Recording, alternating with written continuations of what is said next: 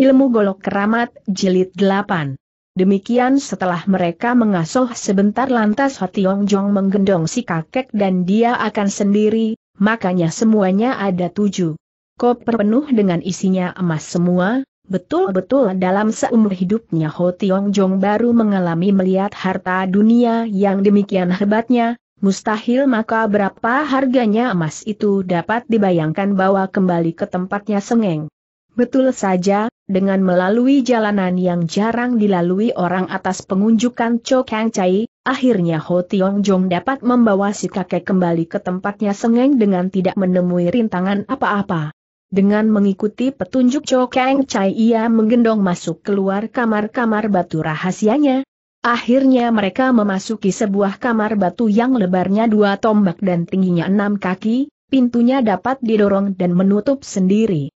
Inilah ada kamar yang merupakan pusatnya dari sekalian kamar batu lainnya, di atasnya kamar ini ada kamar tempat tidurnya Sengeng, penerangan di sini terpancar dari dua buah batu mustika. Cokeng Cai memilih kamar ini dianggapnya tempat yang aman, karena jarang didatangi oleh Sengeng. Kamar-kamar batu rahasia di situ, merupakan gudang hartanya Sengeng atas pengunjukan Chokeng Chai supaya si pemuda dapat menyaksikan dengan mata kepala sendiri bagaimana besar hartanya Sengeng. Hotiong Jong pergi ke kamar sebelahnya di mana benar saja terdapat harta benda yang tak ternilai harganya. Di atas meja panjang ia lihat ada tersebut barang mustika, mutiara dan sebagainya yang sangat berharga. Lebih jauh ia lihat ada tujuh buah koper besi, ia membukanya koper itu isinya ada barang-barang yang terbikin dari bahan emas ditaksir timbangan koper itu ada puluhan ribu. Setelah puas melihat-lihat dalam kamar harta itu, Ho Tiong Jong balik lagi ke kamar di mana Cho Kang Chai ada menantikan padanya.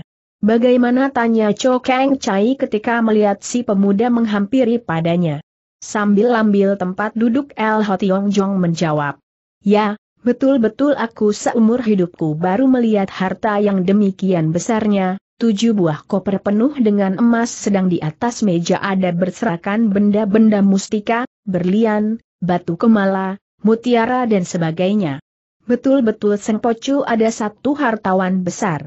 Ia berkata sambil menghela napas. Hei, kenapa kau menghela napas tanya Cho Kang Chai?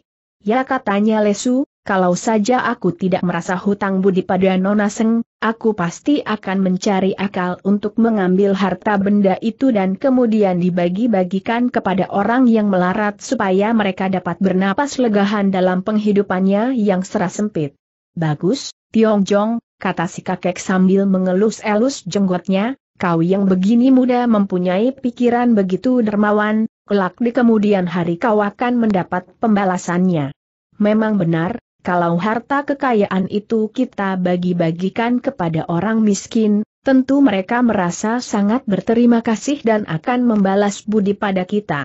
Tidak lopek memotong hati Jong, bukan maksudku untuk menerima pembalasan budi, aku kalau sampai dapat membagi harta kepada pihak si miskin, aku sudah merasa puas dan tidak mengharap akan pembalasan budinya mereka. Demikian mereka melamun, jikalau menguasai harta akan dibagi-bagikan kepada rakyat miskin. Selagi si kakek tersenyum-senyum sambil mengurut-urut jenggotnya, tiba-tiba ia seperti kaget dan berkata pada Ho Tiong Jong. Tiong Jong, bukankah kau sudah berjanji dengan Nona Seng? Kini sudah dekat jam 3, kau harus pergi ke sana, harap kau lekas pergi dan cepat kembali, aku di sini kesepian ditinggal sendirian. Tidak apa, jawab Ho Tiong Jong bersenyum, lambat-lambatan sedikit tidak menjadi soal, asal aku pergi menemuinya kau jangan khawatir, aku pergi dan tidak lama akan balik kembali. Ia lalu meninggalkan Chok Hang Chai, tapi di luar ia merandek dan memikirkan halnya si kakek yang sudah 20 tahun ditahan sungguh tersia-sia kepintarannya selama 20 tahun itu tak dapat digunakan. Pikirnya, baik sekali kalau ia masuk pula ke gua harta tadi dan mengambil beberapa potong emas dan mutiara untuk diberikan kepada Cho Kang Chai, ia sudah tua dan tak dapat bekerja berat lagi maka emas dan mutiara itu ada untuk ongkos hidup selanjutnya. Setelah mengambil putusan, ia lalu mampir lagi ke udang harta tadi, di mana ia mengambil potong emas dua, dua puluh butir matiara. Ketika ia hendak kembali ke kamar Chok Kang Chai, ia melihat di situ ada patung tembaga yang besar, yang bermula ia datang ke situ tidak diperhatikan. Kini ia perhatikan patung tembaga yang besar itu. Pikirnya, patung beginian apa gunanya ditaruh dalam gudang harta ini ia lalu menghampiri dan merabah patung tembaga itu dari kepala sampai ke bawah. Dilihatnya di bawahnya ada satu bantalan, ia iseng dan menggosok-gosok bantalan ini. Tiba-tiba bantalan itu mengeluarkan cahaya dan terbuka. Di dalamnya pun ada sebuah perisai gading lebarnya tiga jari dan panjangnya tiga dim, pada gading itu ada benang merah, mulai dari sudut atas bagian kiri terus berputar-putar ke tengahnya dan sampai di tengah-tengah sebelah kanan benang itu sudah putus, ia tidak mengerti apa rahasianya benda itu, kemudian ia benahi lagi seperti sedia kala, ia balik lagi ke tempatnya Chok Kang Chai orang tua itu heran si anak muda balik kembali. Kau balik kembali, kenapa, apa tidak jadi menemui Nona Seng tegurnya? Aku balik kembali membawa ini jawab si pemuda sambil menunjukkan emas dan mutiara yang dibawanya dari kamar harta, untuk apa kau bawa-bawa yang demikian tanya si kakek. Kau sudah ditahan di sini sudah 20 tahun lebih, maka lebih dari pantas kalau kau dapat bagian ini. Maka harap Lopek terima ini sambil diberikan pada si kakek. Cok Kang Chai tertawa bergelak-gelak pelahan sambil menerima barang tersebut. HMM Tiong Jong memang betul katamu tadi, aku harus mendapat kerugian untuk tempoku yang ditahan di sini. Tapi aku tidak mau harta ini, aku mau tempoku itu, nah, karena sudah ketelanjur kau membawanya, maka kita bagi seorang separuh saja. Kau perlu gunakan untuk di perjalananmu kelak, untukku separuh sudah cukup. Ho Tiong Jong menolak tapi setelah dipaksa ia hanya menerima lima butir saja, yang ia anggap itu ada pemberian Cho Kang Chai bukannya harta haram. Nah, sekarang sudah saatnya aku pergi menemui Nona Seng, aku sudah paham dengan jalanan rahasia di sini, maka aku tidak sampai salah jalan. Harap kau baik-baik menantikan di sini. Ho Tiong Jong segera meninggalkan tempat itu sebentar saja ia sudah sampai di kamarnya Nona Sengya lalu mengetuk jendelanya sampai dua kali, tapi tak kedengaran reaksi apa-apa dari dalam. Ia sudah hendak meninggalkan tempat itu, tapi di pikirannya tak baik ia mengingkari janji, maka ia lalu mengetuk pula sekali. Tapi tak juga mendapat jawaban, ketika ia hendak pasang kupingnya meneliti, ia mendengar suara mengorok di sebelah dalam. Kapan ia menyelidiki dari renggangannya jendela, ia dapat kenyataan yang tidur ngorok itu ada satu pelayan perempuan. Ia sudah putar tubuhnya hendak kembali, tiba-tiba ia melihat ada berkelebat bayangan orang menuju ke pinggir rumah, di mana ia menghilang. Hotiong Jong bercekat hatinya, apa ia sengeng? Badannya kurus dan ilmu mengentengi tubuhnya bagus sekali tertarik oleh penglihatannya, maka ia lantas mengejar, tidak jadi kembali ke kamar rahasianya, ia melihat bayangan orang itu lompat melewati tembok pekarangan, maka ia juga menyusul lompati tembok tadi. Di luar tembok pekarangan itu ternyata ada lapangan, dan sawah, sedang orang tadi entah ke mana perginya tidak kelihatan bayangannya. Tapi ia terus mengejar pula beberapa li, Tiba-tiba ia hentikan tindakannya karena mendengar seperti ada orang yang sedang bertempur. Dari suara bentakan-bentakan, ia kenali suaranya Lila Set Ia, apakah Ia terjebak di sini tanyanya dalam hati sendiri. Cepat-cepat ia pergi ke tempat pertempuran di sana, di belakangnya kebun buah, ia melihat ada tiga orang sedang bertempur. Dua lelaki melawan satu perempuan. Perempuan yang dikerubuti itu ia kenali betul ada Lila Set Ia, sedang yang mengeroyoknya juga ia kenali ada Oete Kang dan Oete Kun. Dilihat jalannya pertandingan kelihatan tak menguntungkan untuk Lea ia ini menggunakan selendang sutra sebagai senjata, sebenarnya ada meminta banyak tenaga karena orang yang menggunakannya harus menyalurkan tenaga dalamnya ke selendang sutra itu, barulah selendang itu dapat digunakan dengan sesuka hatinya. maka Ho Tiong Jong pikir, lama-lama Lea akan kewalahan dan kalah melawan dua musuhnya yang bukan lemah kepandaiannya. Mengingat Lea pernah menolong dirinya tempo hari maka perasaan hendak membalas kebaikan orang timbul seketika dalam hatinya. Tambahan ia merasa gemas, seorang perempuan dikeroyok oleh dua lelaki pantas tidak ayal lagi ia lantas menyerbu dalam pertempuran membantu Li Osat Lea. Cotong Keng yang juga ada di situ telah keluarkan bentakan nyaring. Hei, kau manusia liar dari mana berani mengacau di tempatnya Seng Pocu. Tapi Ho Tiong Jong tidak menjawab, ia hanya putar goloknya menyerang kepada dua saudara Oeteti yang mengerubuti Lea. Oet Keng sambil berkelit dari sambaran goloknya Ho Tiong Jong, telah meneruskan serangan pedangnya kepala Lila Sat Leia. Oet Kun telah menangkis serangan hebat Ho Tiong Jong pedangnya membentur golok sampai lelatu api. Ketika dilihatnya, Oet Kun merasa sangat terlihat berduka, karena pedang Cit Sengkiamnya telah menjadi gompal karenanya. Lea di lain pihak ketika pedang Cit Sengkia Moeteti Keng mengarah dirinya lantas gunakan selendang sutranya dengan tipu Sin Leong Kat Hei, naga sakti keluar dari laut, ia menggulung senjatanya lawan. Uti Keng kerahkan tangannya menarik pulang pedangnya, tapi selendang sutranya ia terus menyerang ke arah jalan dari seorang yang penting, untung Chow. Tong Kang itu waktu keburu menyelak menggunakan senjata benderanya menahan serangan selendang suteranya ya, hingga Oeteti Kang terhindar bahaya kena ketotok. Ho Tiong Jong tidak tinggal diam, dengan gaya Cho Im Suyang, tiba-tiba lunak berubah keras, yang telah menangkis benderanya Cho Tong Kang, golok dengan panji api telah beradu, serangan Im, lunak, dari Ho Tiong Jong telah berubah menjadi yang, keras, Memikin Cho Tong Keng sangat terkejut, sampai ia mundur dua tindak. Oeteti kan mengenali golok yang digunakan Ho Tiong Jong ada golok pusaka, maka ia berteriak. Hei, kau jangan berlaku pengecut kau ini pendekar dari mana, lekas katakan, aku tidak ingin bertempur dengan segala orang yang tidak punya nama. Ho Tiong Jong tidak menjawab, ia hanya tertawa dingin.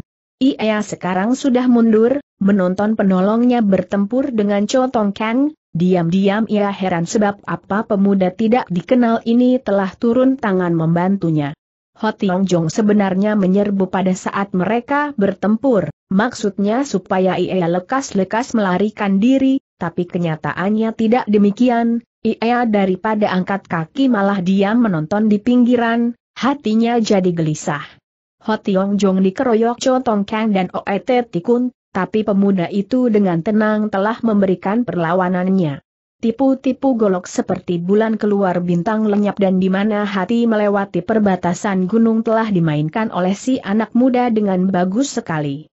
Tenaganya besar, hingga tekanan golok dirasakan oleh Cotong Kang sangat berat, maka ia tidak berani menangkis goloknya Ho Tiong Jong dengan keras lawan keras, hanya ia mengandalkan kegesitannya untuk menyingkir dari serangan Seng lawan. Dengan gaya Tian Li San Hoa, bidadari menyebar bunga, Ho Tiong Jong, menyalakan api membakar langit. Oet Tikun yang melihat saudara tuanya tertindih, khawatir pedangnya AKA mengalami nasib seperti pedangnya sendiri gompal, maka ia lalu menyerbu memberikan bantuannya kini Ho Tiong Jong jadi dikerubuti bertiga. Lilo Set Ia terbengong menyaksikannya pemuda itu sangat gagah dikerubuti bertiga masih tidak kelihatan merasa keder, justru ia sedang bengong, mendadak lihat. Pemuda itu mendorongkan tangannya ke arahnya, angin keras telah menyampok dirinya hingga ia terpental beberapa tumbak jauhnya. Ia bermula heran, tapi kemudian ia mengerti maksudnya pemuda itu, ialah supaya ia lekas-lekas menyingkir dari tempat itu, maka seketika itu ia telah menyembunyikan diri di baliknya rimba pepohonan yang jauhnya beberapa tumbak dari tempat pertempuran. Oet Tikun yang biasa suka sekali membentak ia telah menyerang dengan pedang gompalnya, apa mau tangkisan golok bukan main beratnya, hingga tangannya tergetar dan ia sendiri telah sempoyongan mundur beberapa tindak. Lihai demikian pikirnya, nyalinya seketika itu telah menjadi ciut. Oeteti Kang juga pelan-pelan telah menarik serangannya, karena ia tahu betul ia bukan tandingannya musuh. kalau ia memaksa meneruskan pertandingan niscaya kerugian akan dialamkan olehnya. Tinggal sekarang Cho Tong Kang, si bayangan kurus yang dikejar oleh Ho Tiong Jong tadi, masih ngotot melayani Ho Tiong Jong, meskipun sudah tahu bahwa ia juga bukan tandingannya si anak muda yang lihai. Ho Tiong Jong mengerti dua saudara OETT itu sudah ciut nyalinya dan tidak berani mengeroyok lagi, maka untuk membuat kedar satu lawannya yang masih ngotot ini, pemuda itu telah mengeluarkan tipu-tipu serangan bergabung antara partai-partai Xiaolim, Butong dan Kunlun. Memang dengan tekanan ilmu gabungan itu Cho Tong Keng kelihatan kewalahan. Diam-diam ia merasa keder akan lawannya yang tangguh itu. Goloknya berkelebatan menakutkan, hingga dua saudara Oetet Tilang menonton di pinggiran menjadi terkejut dan menguatirkan jiwanya Cho Tong Keng. Di waktu sudah keteter, Cho Tong Keng telah keluarkan ilmunya Tian Be E Enggong atau kuda semberani melayang di angkasa, suatu tipu serangannya yang paling ampuh dan sedikit sekali orang yang dapat meloloskan diri dari serangannya itu. Badannya Cho Tong Keng tiba-tiba melesat ke angkasa, dari atas ia menukik, menyerang dengan kaki dan tangannya kepada bahu orang. Cotong Keng sudah kegirangan, musuhnya tentu bakal kena dikalahkan, bahkan kena ditangkap hidup-hidup juga dua saudara Oeteti sudah bersiap-siap untuk bantu menangkapnya siapa tahu kenyataannya ada di luar dugaan, tiba-tiba Ho Tiong Jong bersiul nyaring, badannya mendadak kemudian jumpalitan ke belakang, akan selanjutnya mencelat ke atas dan melayang turun dalam gerombolan pohon, hingga sekejapan saja ia sudah menghilang dari pemandangan mereka. Oeteti Kang dan Oeteti Kun menjadi melongo karenanya. Sedang Chotong Kang yang mendapat sasaran kosong, juga tidak kurang-kurang kagetnya menyaksikan kepandaian yang luar biasa dari pemuda lawannya itu. Hei, Bagaimana orang itu bisa meloloskan dirinya? Oete Tikun nyeletuk setelah rasa kagetnya hilang Cotong Keng geleng-geleng kepalanya.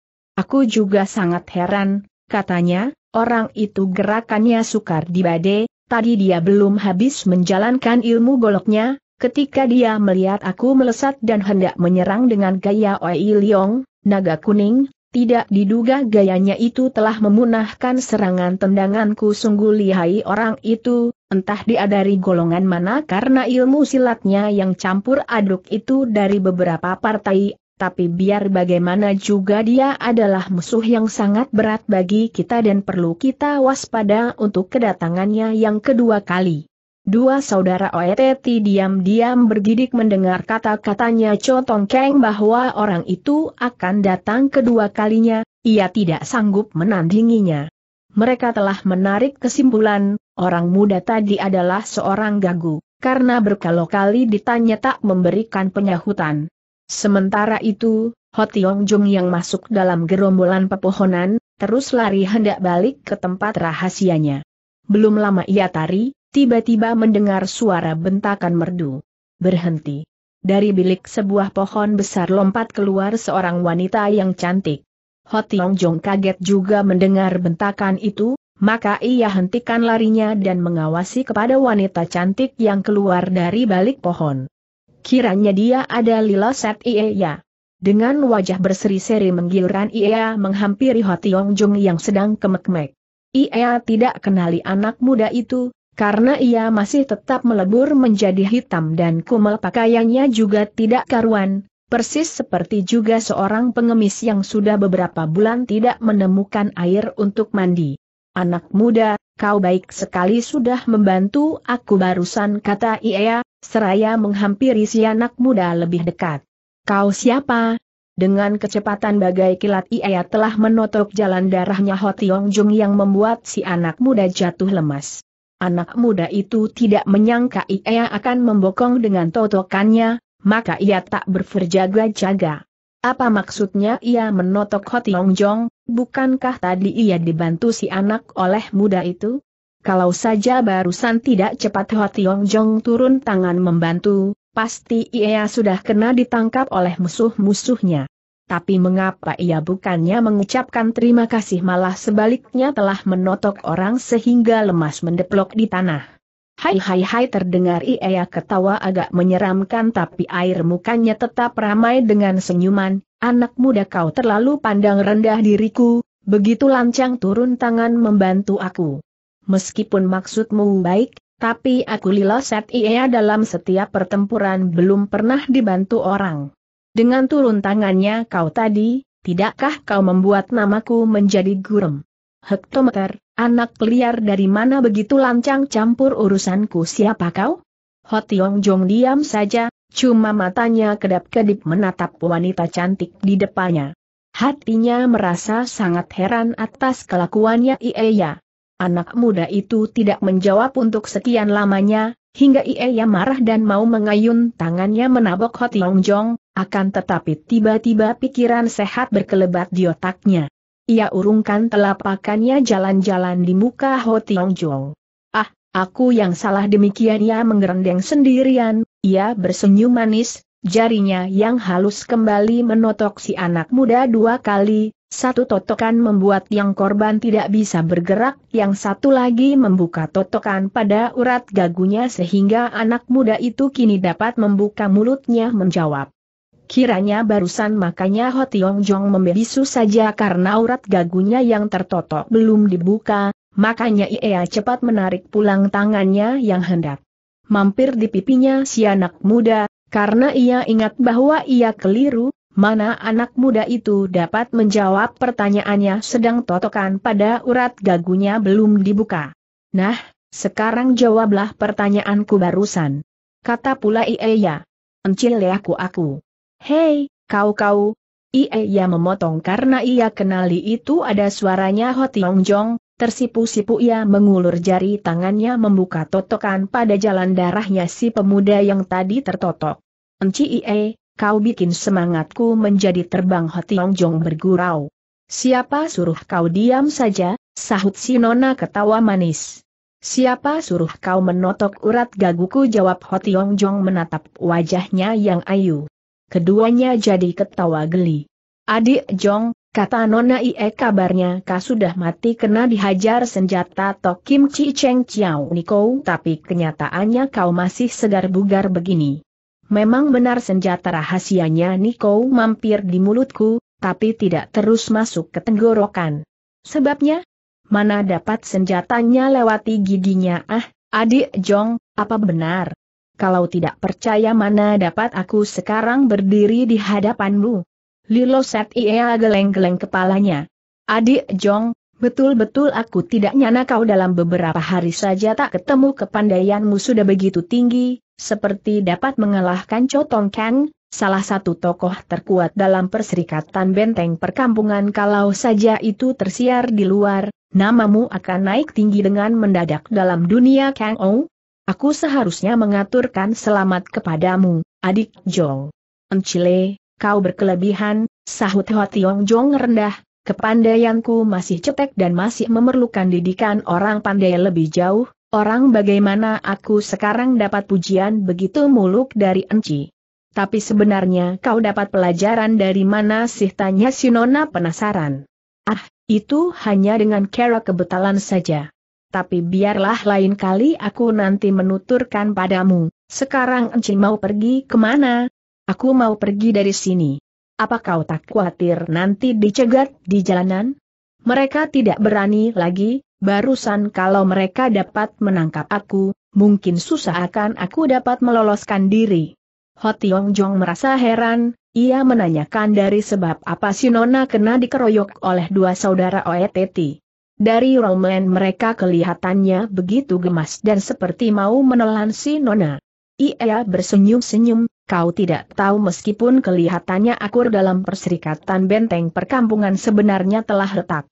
Sudah terpecah menjadi tiga partai, masing-masing berusaha memperkuat partainya sendiri untuk kelak dapat menjagoi di kalangan rimba persilatan. Dua saudara OETT itu tidak termasuk dalam komplotanku, mereka telah menerima perintah dari atasannya, sekarang setelah mereka gagal, buat sementara aku dapat berlalu dari tempat ini dengan selamat. Lain urusannya kalau di kemudian hari kita berjumpa pula. Oh, oh begitu, nyeletuk Ho Tiong Jong. Kembali ia memperlihatkan ketawanya yang manis menarik. Adik Jong, kau kenapa sampai sekarang masih belum juga berlalu dari sini? Enci Ie, kau mau suruh aku pergi ke mana kau tahu kekuasaannya Seng Pocu ada sangat luas dalam daerahnya ini, kalau tidak dengan pelahan-lahan menggunakan akal mana aku dapat lolos dari kejarannya, lain dari itu, juga aku masih ada urusan titik hektometer urusan titik menggerenden Giaya.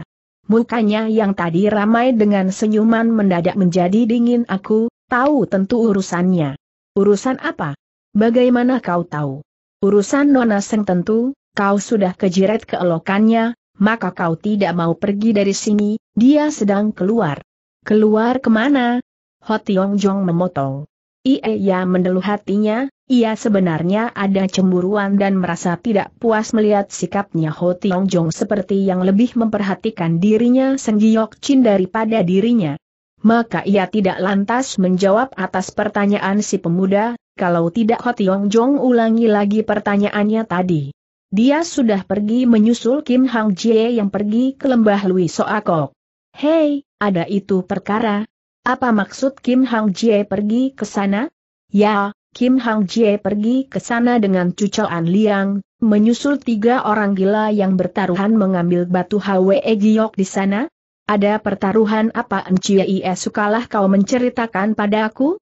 Dan siapa mereka yang barusan Encie katakan tiga orang gila? Ia sebenarnya mendeluh hatinya, ia tidak mau orang banyak tanya lagi dan sudah hendak meninggalkan tempat ICN, kalau tidak Ho Tiong Jong dengan separuh menatap minta diceritakan halnya Seng Giok Chin, Kim Hang Jie dan lain-lainnya.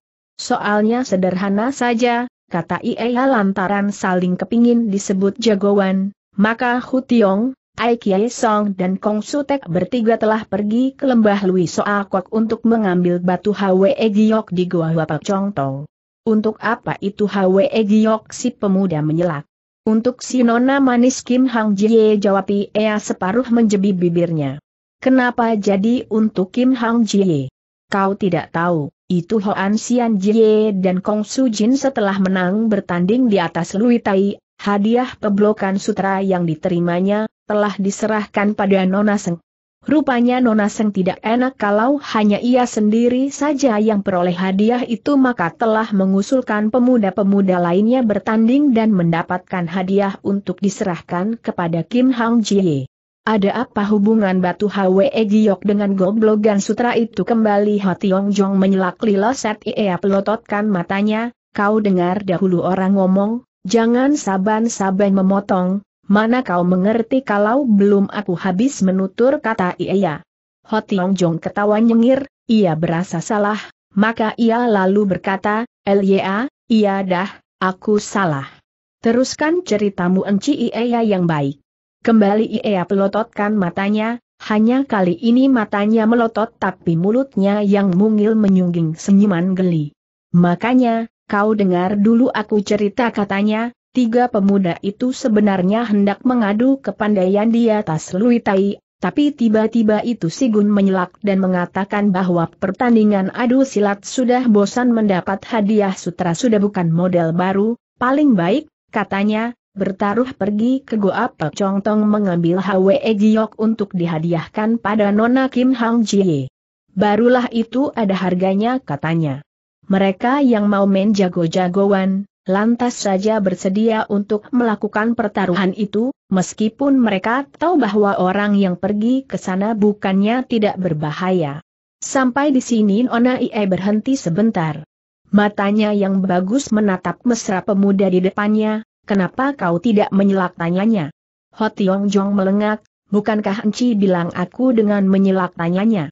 Ia menekap mulutnya, menahan ketawanya melihat kelakuan Ho Tiong Jong. Betul-betul kau bisa pegang janji si Nona kata sambil tersenyum. Ho Tiong Jong juga tersenyum suatu senyuman yang membuat hatinya ia berduka sebaiknya dari bergembira, kenapa itulah karena diam-diam ia berpikir. Pemuda ini dicintai oleh Giok Chin dan Hang Jie sepasang jelita yang sukar mendapat tandingan kecantikannya maupun ilmu silatnya, aku yang dikenal sebagai kepala iblis wanita, Apakah ada harapan menempati hatinya pemuda ini? Oh, kejadian itu mungkin hanya bisa terjadi dalam impian belaka. Berpikir demikian maka wajahnya yang barusan ramai dengan senyuman lantas berubah duka dan dingin. Hei, kau kenapa? Enci Iai tanya Ho Tiong Jong heran melihat perubahan itu. Sin Ona menghela napas, tidak jawabnya, nah, dengarlah aku cerita terus. Ia lantas menceritakan ceritanya tentang tiga pemuda yang pergi ke tempat berbahaya itu telah menimbulkan rasa khawatir di kalangan jago-jago tua dan muda. Mereka khawatirkan keselamatan tiga pemuda itu terhadap si kakek aneh So Kiehon yang ganas, penghuni dari Goa Wapak Chong Tong. Kim Hang Jie yang turut memikirkan halnya tiga pemuda itu, yang telah pergi ke sana karena gara-gara dia juga, merasa tidak enak hati di luar taunya jago-jago tua dalam sengkipo itu, dengan mengajak Cogoan Li yang telah menyusul ke sana. Sebagai penutup ceritanya, ia berkata Seng Giok Chin dan Kim Hang Jie ada satu komplotan, tidak heran kalau Giok Chin hatinya merasa tidak enak mendengar kepergiannya Hang Jie dan ia pun telah menyusul ke sana. Karena itu, kedatanganmu untuk menemui Giok Chin jadi keceleh hai hai hai. Ho Jong jadi melongo mendengar keterangannya iya. Habis, apa kepergian mereka itu dibiarkan saja tanyanya, ketika tersadar dari melongonya sudah tentu tidak tolol. Kawanan-kawanan tiga orang gila itu, yang mahir ilmu silatnya sudah pada menyusul pertandingan adu kepandaian di atas Lui Tai dengan sendirinya dihentikan, karena Seng Pocu dan kambratnya pada menyusul juga.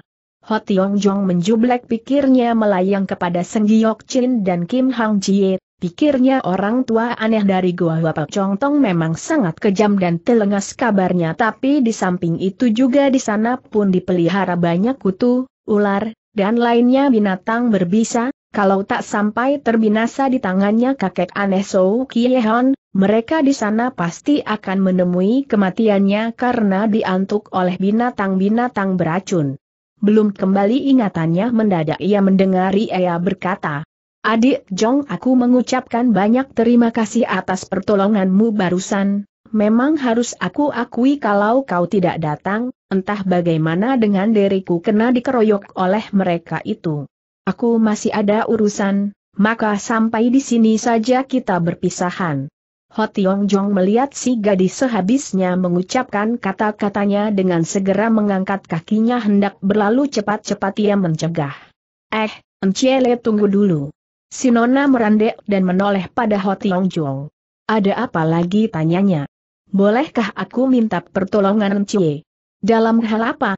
Aku ada mempunyai sahabat seorang tua, yang belum lama aku tolong keluarkan dari rumah penjara berair, dia sudah 20 tahun disiksa dalam penjara, aku kasihan, ia merindukan melihat matahari lagi dalam usia tuanya. Siapa orang tua itu, sampai tahan disekap begitu lama? Ho Tiong Jong lalu menuturkan dengan ringkas halnya Cho Kang Chai dan Ia yang mendengarnya telah anggukan kepalanya, setelah ia kerutkan alisnya yang lentik halus, seperti ia sedang menimbang-nimbang lalu berkata, Aku harus mendiwa ia ke mana? Bagaimana kalau ke Yang Cho apa tidak kejauhan tanya Ho Tiong Jong bersenyum. Jauh atau dekat, kalau memang mau menolong tidak menjadi soal jawab si Nona sambil melirikan matanya yang jeli dan bersenyum mengciurkan. Terima kasih, kau baik sekali Enci, aku sebenarnya tidak ingin membuat berabe Enci kalau saja aku ungkulan untuk menerjang keluar dari tempat ini. Barusan aku ketemu Enci lantas mendapat pikiran untuk menyelamatkan orang tua itu, tidak ada jalan lain yang lebih sempurna daripada minta pertolongan Encie, dengan dimasukkan dalam kereta Encie, orang tua itu akan selamat dari tempat mereka di sini, nah, Encie tunggu sebentar, aku akan ambil orang tua itu kemari. Ia anggukkan kepalanya. Ho Tiong Jong lantas berlalu, dengan kepandaiannya mengelilingi tubuh dalam tempo sebentaran saja ia sudah kembali dalam kamar rahasianya, di mana Cho Kang Chai sedang menanti-nantinya. Tiong Jong, kau sudah balik sungguh kesepian ditinggalkan olehmu kata Cho Kang Chai dengan muka berseri-seri. Colopek sungguh kebetulan sekali aku ketemu dengan Encie Ie. Dengan pertolongannya, kau dapat pulang ke tempatmu di Yang Cho kata Ho Tiong Jong dengan muka berseri-seri girang.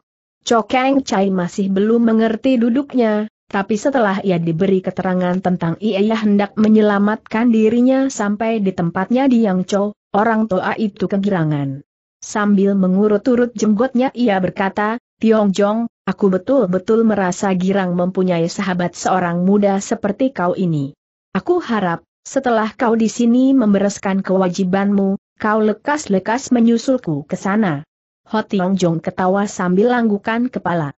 Colopek asal saja aku masih bernyawa pasti aku akan menyusul kau ke sana dan Tiong menyelak si kakek, kau jangan berkata begitu dilihat dari air mukamu, kau ini bukan macam orang yang pendek umur. Rejekimu besar meskipun kau mengalamkan banyak bayangan dalam perjalanan hidupnya akhirnya kau akan menjadi seorang yang ternama percayalah pada aku si orang tua.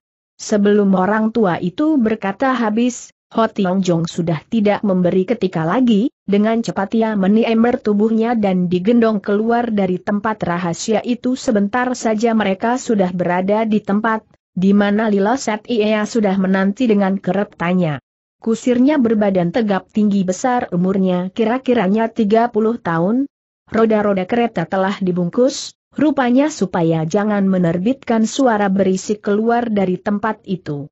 Ia membantu Ho Tiong Jong memasukkan Chokeng Chai ke dalam kereta, setelah selesai Ho Tiong Jong berkata pada Ia, Enci Ie, kau sudah bermusuhan dengan titik. Aku dapat pergi jawab Ia bersenyum manis, aku khawatirkan titik. Ho Tiong Jong belum lampias bicara sudah dipotong oleh Ia katanya. Kau khawatirkan aku mendapat celaka dari pihaknya Sempolcu? IHM, mereka tidak membuat susah padaku, asal saja aku tidak tertangkap malam ini kita akan berhadapan sebagai sahabat meskipun dalam hati masing-masing ada mempunyai rencana sendiri. Kau jangan khawatir, Tiong kita berpisah sampai di sini, tidak lupa aku mengucapkan sekali lagi terima kasih atas bantuanmu barusan titik. Ia tutup bicaranya dengan mengerlingkan matanya yang memikat. Tiong Jong hatinya berdebar sejenak. Tapi lekas ia dapat menetapkan ketenangannya kembali Encia Ie, selamat berpisah. Semoga kau selamat dan di lain ketika dapat berjumpa kembali, tapi... Ho Tiong Jong mengelah napas dengan tiba-tiba hingga Ia jadi terperanjat. Kau kenapa? Tiong Jong tanyanya. Oh tidak apa-apa, selamat tinggal harap saja Encie dapat mengantar Colopek sampai di tempatnya dengan tidak kurang apa, dan Colopek kini kita berpisah ya. Meneruskan kata-katanya pada Cho Kang Chai harap saja kau baik-baik dapat menjaga diri. Ia sudah membuka mulutnya hendak berkata, akan tetapi badannya si pemuda sudah melesat sejauh beberapa tumbak, akan kemudian menghilang dari pemandangan. Ho Tiong Jong tidak menceritakan terus terang bahwa dirinya bakal mati gara-gara racun Tok Kei, maka bicaranya sampai, tapi telah terputus. Ia memandang bayangan si pemuda sampai hilang, lalu menghela napas, terus naik keretanya dan perintah kusirnya untuk segera menjalankan keretanya. Oh oh oh oh, kita ikuti Ho Tiong Jong setelah berpisah dengan Ia lantas ia lari ke Gunung Hul Chui San, dari tempat mana ia memandang ia bisa memandang lembah Liu Soa Kok di pagi hari. Di bawahnya sinar matahari pagi tampak padang pasir yang putih mengasih pemandangan yang indah. Dalam hatinya merasa gelisah memikirkan Kim Hang Jie yang ada ke sana, di Gua Wapak Chong Tong tempatnya si kakek aneh yang terkenal ganas dan kejam. Tiba-tiba ia melihat dua bayangan orang yang naik kuda di kaki gunung sedang menuju ke tempat sengeng. Lantas saja Ho Tiong Jong mengenali satu di antaranya ada Seng Giok Chin, dalam hati berpikir, apakah Giok Chin sudah kembali dari sana? Mungkin Hang Jie sudah menemukan ajalnya di sana, maka Giok Chin sudah kembali dengan tangan kosong pikirnya tentu tidak ada gunanya ia lama-lama dalam goa kakek aneh itu, karena Kim Hang Jie toh sudah mati. Rupa-rupa pikiran saat itu telah mengaduk dalam otaknya si anak muda. Bayangap Nona Kim yang cantik menarik dengan dua sujengnya di kedua belah pipinya yang halus botoh memikat hati, membuat Hoa Tiong Jong melamun kenasa yang lampau, di mana ia telah menerima banyak budi dari gadis cilik, Hong Jie, itu, selama ia belajar silat 12 jurus ilmu golok keramat dari engkongnya. Tanpa disadari dengan pelahan-lahan ia bertindak. Belum lama ia berjalan, ia mendengar di sebelah depan ada orang bicara, cepat-cepat ia menghampiri lalu menyelingkar di balik pohon ketika ia sudah datang dekat kepada orang-orang yang bicara tadi, yang bicara tadi, yang ternyata bukan lain daripada Hui Xiao Cheng yang mukanya kasar dan kakaknya si Hui Seng yang bersama-sama dengan Nona Lau Hangen. Pada saat itu tampak Nona Lauer mukanya muram, yang dikesalkan, apa mungkin ia memikirkan perginya Kim Hang Jie ke tempatnya si kakek aneh, yang belum diketahui bagaimana nasibnya si Nona di sana? Terdengar Hui Song Kang berkata, itu putrinya Seng Pocu, Seng Giok Chin semalaman suntuk gentayangan tidak berani meneruskan perjalanannya, betul-betul dia bikin kita celaka. Hui Xiao Cheng mengerutkan alisnya ya, memang di tempat ini ada sangat berbahaya katanya pasir berjalan, Liu Soa, yang harus dilewati sangat angker setiap orang yang berjalan di atas pasti menemukan bahaya yang tidak diingini. Semua mua ada gara-garanya Cogo Antiong, nyeletuk Lau Hang In orang si Cho itu telah membunuh musuh dengan meminjam tangannya lain orang, betul-betul terkutuk perbuatannya itu. Hui Xiao Cheng tidak berkata apa-apa. Matanya tampak mengawasi di sekitarnya. Tiba-tiba ia berkata, Sengkang, coba keluarkan tambang panjang yang digemblok di punggungmu aku hendak mencoba-coba pasir berjalan ini. Hui Sengkang terbelalak matanya mengawasi ayahnya. Ayah katanya gugup, kau kenapa, tanya Seng ayah. Jangan kita coba-coba menempuh bahaya sendiri ayah, coba lihat itu gerombolan Seng Pocu, semuanya juga ada membawa tambang, akan tetapi mereka masih belum berani turun tangan. Terserah sama mereka, memotong Seng ayah dengan mata melotot, mereka mana dapat menandingi ayahmu, lekas keluarkan jangan banyak rewel. Hang Tiong Jong kini tahu kalau Hui Xiao Cheng itu kiranya ada cungcu dari keluarga Hui, pantasannya ada demikian sombong dan angkuh, pikirnya Hui Seng Kang melihat ayahnya berkeras, ia tidak dapat membantah, dengan apa boleh buat menurunkan tambangnya kira-kira 30 tumbak. Nona Lau juga menurunkan tambangnya, diberikan pada Hui Sengkeng untuk disambung menjadi lebih panjang, kemudian diberikan pada Hui Xiao Cheng. Lalu dia tur gulungan tambang supaya beres untuk dibawa terbang oleh si jago tua. Tampak Hui Xiao Cheng, sambil memegangi ujung lambang yang dibelitkan pada pergelangannya, telah mengerahkan tenaga dalamnya, ia menarik napas dalam-dalam seketika lamanya, Tiba-tiba ia enjot tubuhnya melesat seperti anak panah, cepatnya meluncur kira-kira 20 tumbak jauhnya. Adik ini ya berkata sukalah kau bantu menolong ayahku jangan sampai dia mengalamkan kecelakaan titik. Belum habis bicaranya, hatinya kaget bukan main ketika mendengar ayahnya berteriak, celaka. Hai Sui yang tampak bergulat dengan pasir, yang hendak menarik masuk ia ke dalam. Tampak ia sudah amblas sehingga pinggangnya. Bukan main gelisahnya Hui Sengkang, sambil berteriak supaya Nona Lau bantu turun tangan, ia memegangi kencang-kencang tambang dan coba menarik ayahnya keluar dari dalam pasir yang sudah menelan ia sehingga pinggang.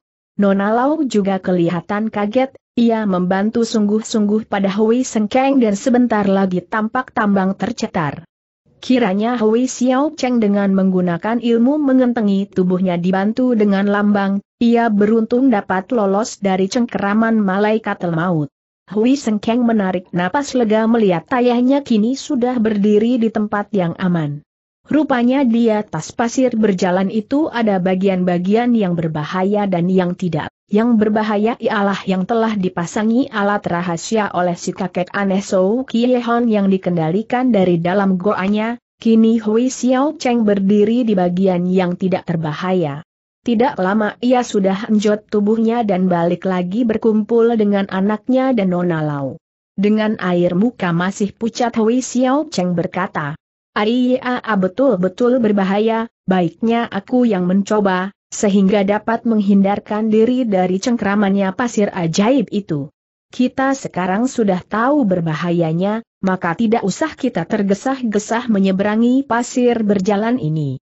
Tapi, Hui Sichu, bagaimana baiknya dengan Toako Hucong yang sudah dua hari lamanya di sana nyeletuk Nona Lau? Adik Lau. Hui Sengkang menalangi ayahnya menjawab, apa kau tidak lihat bagaimana berbahayanya ayah barusan? Maka kita tidak boleh tergesa-gesa harus kita berunding dulu bagaimana baiknya untuk menolong mereka yang ada di sana. Lau Hang Ing bungkam, tapi diam-diam hatinya merasa kurang puas. Ya, kau tak perlu gelisah kata Hui Xiao Cheng. Giok Chin yang cerdik tidak berani sembarangan menempuh bahaya, yang perlu sekarang, sebaiknya kita kesampingkan dahulu kepentingan sendiri harus kita bersatu dalam tujuan hendak menolong di orang. Dengan demikian barulah bisa diharap kita dapat mengatasi kesulitan dan usaha kita dapat berjalan dengan aman. Kemudian, mereka bertiga sambil pasang ngomong, telah meninggalkan tempat itu. Ho Tiong Jong yang menyaksikan Hui Xiao Cheng punya ilmu mengentengi tubuh demikian mahir, sehingga dapat meloloskan diri dari terkamannya pasir ajaib diam-diam mengagumi pada orang tua itu. Kini melihat mereka sudah meninggalkan tempat itu diam-diam mereka berpikir, tapi tidak tahu siapa-siapa di antaranya pentolan-pentolan dari perserikatan benteng perkampungan itu yang berani menempuh bahaya terlebih dahulu. Ya, Sebaiknya aku mencari tempat sembunyi, supaya mereka tidak mengetahui aku ada di sini ia lalu meneliti di sekitarnya tempat itu. Tidak jauh dari tempat ia berdiri kelihatan ada satu batu besar yang menghampiri dan ternyata di bawahnya ada sebuah gua. Aa, ini ada tempat yang aman pikirnya, maka ia sudah lantas masuk ke dalamnya dan di situ ia duduk bersemedi, ia sudah beberapa malam tidak tidur, tidak heran kalau ia sudah kepulasan dan tidur nyenyak. Tahu-tahu, ketika sinar matahari merah menyoroti tempat itu, membuat ia kaget dan cepat-cepat lompat bangun dan keluar dari goa, gunakan ilmu lari cepatnya masuk ke dalam rimba yang banyak pepohonannya. Ia putar otaknya untuk mencari jalan bagaimana ia bisa menyeberangi lembah pasir berjalan itu dengan selamat, Mendadak ia mendapat suatu cara, lekas ia gunakan goloknya menebang dua cabang pohon yang kokoh, ia bikin dua batang cabang itu macam tongkat ia gunakan. Sepasang tongkat itu sebagai gantinya pengunjuk jalan untuk mencari bagian-bagian jalanan yang tidak terbahaya. Perlahan-lahan ia sudah berjalan di atas pasir ternyata ia tidak mendapat halangan apa-apa, hatinya ia semakin besar, maka ia percepat jalannya dan tidak lama kemudian benar saja ia sudah berada di seberang di bawahnya puncak Gunung Uksi Banleng. Diam-diam ia bersenyum mewah mengingat percobaan yang dilakukan oleh Hui Xiao Cheng yang tidak berhasil. Pikirnya, ia ada lebih pandai menggunakan akal dan sudah bisa sampai dengan selamat di tempat tujuan. Tapi Ho Tiong Jong tidak tahu, bahwa ia bisa selamat menyeberangi lembah pasir berjalan karena alat rahasianya tidak dikerjakan oleh Sou Kiehon. Kakek aneh itu pada saat Ho Tiong Jong menyeberangi padang pasir yang angker itu, sedang nyenyaknya tidur, karena terus-terusan dua hari dua malam tidak tidur karena mendapat gangguan dari orang-orangnya Sengkipo. Coba kalau si kakek dalam sadar, Tentu tidak begitu mudah Ho Tiong Jong dapat melalui padang pasir berjalan itu, kalau tidak sampai ia mengalami celaka karena ditelan oleh pasir seperti kejadian dengan Hucong dan kawan-kawannya. Ho Tiong Jong setelah berdiri sejenak mengawasi padang pasir yang ia telah lewati barusan, lantas membuang sepasang tongkat kayunya. Anak muda itu bukannya takut mati ditelan pasir, ia makanya ingin selamat sampai di seberang, karena hatinya ingin menolongi Kim Hang Jie. Untuknya, kematian tidak menjadi soal, karena ia tahu ia toh bakalan mati karena racunnya Tok Sky ia ingin sebelumnya mati ia dapat menolong dahulu orang yang ia hargakan tinggi kebaikannya. Di lain saat Hoa Tiong Jong sudah naik ke puncak gunung, ia lihat banyak sekali terdapat goa-goa, entah betapa banyaknya ia tidak dapat menghitungnya. Belum berapa tombak ia jalan, Tiba-tiba ia berhenti di sebuah batu besar. ketika matanya memeriksa keadaan di situ, ia melihat di batu besar itu ternyata ada sebuah goa orang tidak mudah melihatnya karena kealingan oleh batu besar tadi, selainnya ini, Hotiong Jong dapatkan di sana-sini di atas batu-batu ada liurnya dari binatang berbisa yang sudah menjadi kering karena kesorotan matahari. Hatinya berdebar mengingat kemungkinan Kim Hang Jie sudah binasa menjadi mangsanya binatang berbisa. Ia lalu berjalan masuk ke dalam goa, ternyata dalam goa itu amat bersih, di atas jalannya hanya kedapatan pasir putih, tidak kedapatan sebutir batu pun, mulut goa besar dan tinggi, dinding sekelilingnya ada dari batu kemala putih, begitupun lantainya hingga tampaknya terang dan resik. Dilihat keadaannya goa ini seperti juga tempatnya orang yang mengasingkan diri, memang membuat orang merasa betah menempati goa ini, keadaannya tentram dan sunyi, jauh sekali bedanya kalau dibandingkan dengan goa yang barusan Ho Tiong Jong masuki dan bersemadi kepulasan, dalam goa yang terdahulu itu selain tempatnya kecil sempit, juga banyak kutu-kutu dan lain-lain binatang berbisa. Selagi ia terpesona menyaksikan keadaan dalam goa itu, tiba-tiba hidungnya mengendus bau harum. Hatinya heran, karena di tempat itu di mana ada tanaman bunga karena tidak ada sebatang rumput pun yang hidup di situ. Terdorong oleh perasaan kepingin tahu Ho Tiong Jong telah memasuki goa itu lebih dalam lagi.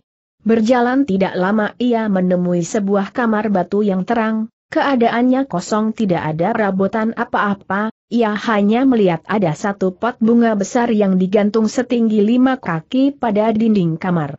Ketika diperiksa dalam pot itu ada ditanami bunga degan pasir sebagai tanahnya, tampak bunga itu hidup subur dan menyiarkan bau harum sebagaimana yang dapat diendus olehnya tadi pot itu berbentuk patkwa delapan persegi makin didekati harumnya bunga makin keras hingga Ho Tiong Jong tidak tahan dan keluar dari kamar itu.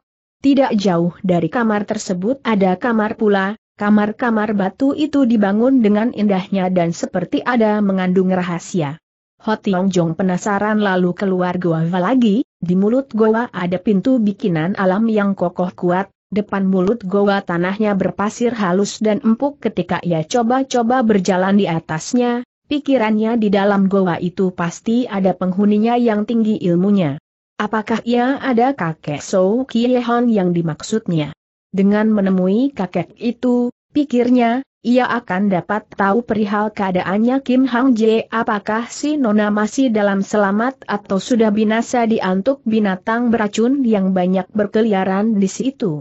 Memikir ke situ, lantas Hotiong Jong putar lagi badannya memasuki pula goa tadi, dengan goloknya ia ketok-ketok di sekitar dinding, Seolah-olah ia ada mencari alat rahasianya tapi ia tidak mendapatkan apa-apa selamanya suara membalik dari ketokan goloknya itu berbunyi mengaung. Ia masih penasaran, lalu masuk ke dalam kamar tadi yang ada pot bunganya. Setelah memeriksa di sekitar kamar tidak ada apa-apa yang mencurigakan tangannya Iseng Sadah mendorong-dorong pot berbentuk patkwa itu ke kiri, sedikit pun tidak bergerak akan tetapi ketika didorong ke kanan mendadak ia mendengar suara berkelelek dan pot itu menggeser tiga dim. Aaaa ini tentu kuncinya untuk masuk ke kamar rahasia pikirnya. Ia lalu yang menggoyang-goyangkan pot itu, segera terdengar seperti suara terbukanya pintu. Benar saja Ho Tiong Jong lihat pada dinding kamar batu itu ada terbuka sebuah pintu.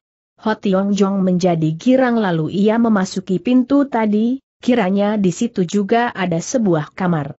Bab, Giok Chin buka rahasia hatinya. Tapi kamar di situ beda dari yang sudah-sudah karena terlihatlah diperlengkapi dengan perabotan yang indah-indah seperti meja kursi dan tempat tidur. Batu kemala putih yang melapis dinding dan lantai tampak berkilat terang, hingga keadaan di sini ada lebih terang dari kamar lainnya. Di atas pembaringan Hotiong Jong lihat ada satu kakek kurus kering sedang bersemedi cepat-cepat Hotiong Jong mendekati dan menjura memberi hormat. Katanya, harap Ciam Pue suka memaafkan Boan Pue yang sudah lancang masuk ke dalam tempat istirahat Ciam Pue di sini karena tidak mengetahui kalau dalam kamar ini ada penghuninya. Hotiong Jong beberapa saat menanti jawaban, tapi tidak juga ia mendengar suara si kakek yang bersender di dinding batu. Harap Ciampoe suka memberi maaf, supaya Bo Ampoe meninggalkan ruangan ini dengan lega demikian Ho Tiong Jong berkata pula. Tapi lama ditunggu, jaga tidak mendengar orang tua itu membawa suara. Diam-diam anak muda itu mendongkol dalam hatinya, kenapa pikirnya sombong benar orang tua itu, ia sudah merendah sampai begitu rupa, akan tetapi dianggap sepi. Saja seolah-olah suaranya itu tak dapat didengar kini Ho Tiong Jong membuka matanya lebih lebar mengawasi kepada orang tua itu, hatinya tiba-tiba bercekat, dengan pelahan-lahan ia menghampiri lebih dekat dan ketika diteliti, kiranya orang tua itu sudah menjadi mayat, pantasan tidak menjawab omongannya tadi. Entah sudah beberapa lama kakek ini sudah menjadi mayat, keadaannya masih tetap seperti orang hidup yang sedang bersemedit tangannya tampak sedang memegangi patung kecil ditempelkan pada dadanya, agaknya seperti yang sangat menyayangi benda itu. Ho Tiong Jong iseng tangannya lalu mengambil patung itu dan dilihatnya. Astaga patung itu bagus sekali, dibuat dari bahan batu kemala putih. Patung itu merupakan bentuk badan wanita yang sempurna, kecantikannya yang luar biasa, hingga Ho Tiong Jong terpesona dan tangannya menggetar memegangnya. Saat itu lantas berbayang air muka cantik jelita dari dua nona di depan matanya, mereka itu bukan lain dari Seng Giok Chin dan Kim Hang Jie, Ho Tiong Jong seperti juga sedang membanding-bandingkan keelokannya dua nona itu dengan patung yang ada di tangannya. Lama dia dalam keadaan demikian, tiba-tiba terdengar ia menghela napas dan berkata pada dirinya sendiri. Ya masing-masing ada membawa kecantikannya sendiri, siapa lebih unggul sukar ditentukan, Giok Chin dan Hang Jie kelihatannya ada menaruh hati padaku, tapi ah sayang aku seorang miskin, mana pantas aku menjadi pasangannya. Ho Tiong Jong jadi ngelamun. Dewi Asmara agaknya mulai mengadu biru dalam hatinya yang masih kosong. Tapi Seng Dewi tak berhasil mendobrak hatinya, karena adanya pikiran rendah diri, bahwa ia bukan pasangannya dari nona-nona tingkatan atas itu.